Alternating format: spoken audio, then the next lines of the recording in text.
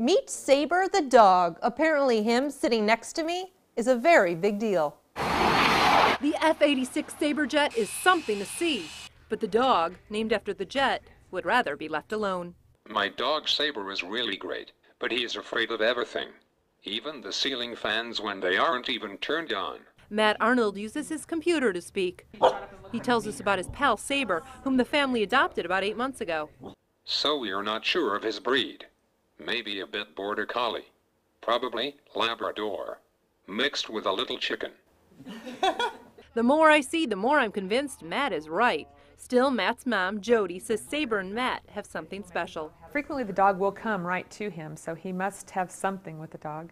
But the dog definitely loves him, and Matt enjoys spending time with the dog. Jody would love to train Saber to be a service dog. My dog is really good, but he can get very anxious.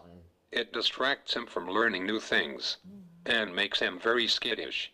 So Jody asked us to try Thunder Shirt. We had one sent to the station to try. The shirt started $40 online. Makers say 80% of dogs show improvement.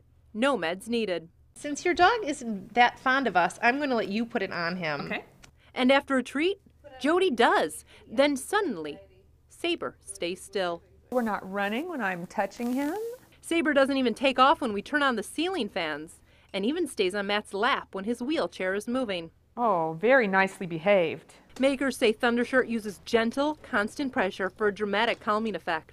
The website offers a 100% money back guarantee for the product, but this family seems more than satisfied. Would you buy it? I would. It works really well. He's much calmer and he's paying attention a lot more. He still doesn't mind, but that takes training. I think I would buy it. It is worth it. If there's a product that you think would add some peace and calm to your life, let us know. Head online to fox4kc.com and click try It before you buy it. Leslie Cardo, Fox 4 News, working for you.